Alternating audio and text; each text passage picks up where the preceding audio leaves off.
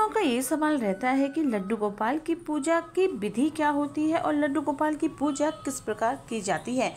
तो आइए जानते हैं कि जन्माष्टमी के अवसर पर लड्डू गोपाल की पूजा कैसे की जाती है।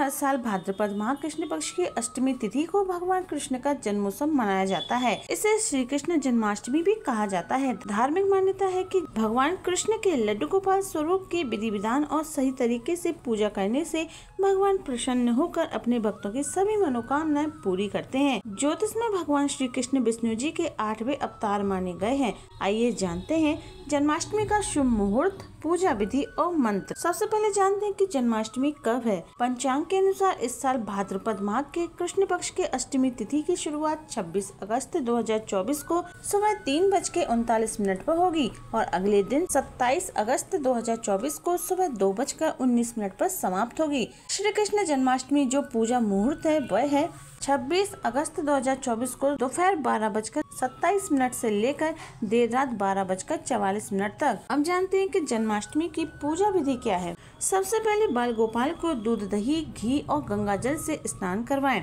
इसके बाद साफ़ कपड़े से पहुँचने के बाद लड्डू गोपाल को नए वस्त्र पहनाएँ।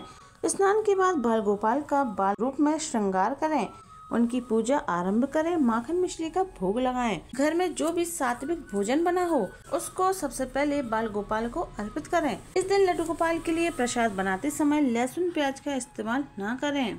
अब जानते हैं कि जन्माष्टमी के दिन भगवान श्री कृष्ण के जन्मोत्सव के अवसर पर किन मंत्रों का जाप करना चाहिए? क्रम कृष्णाय नमः। ओम क्रीम कृष्णाय नमः। ओम गोकुलनाथाय नमः।